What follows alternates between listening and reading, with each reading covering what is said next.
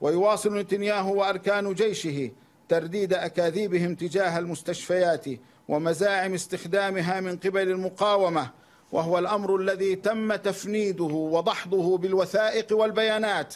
وأكدنا أنه أكاذيب لا أساس لها من الصحة وها هم يفضحون كذبهم بأنفسهم. فالقناة الثانية عشر الإسرائيلية تقول إن تقييم الجيش أنه لا يوجد مقر لحماس تحت مستشفى الشفاء وكبار قادة حماس لا يتواجدون فيه.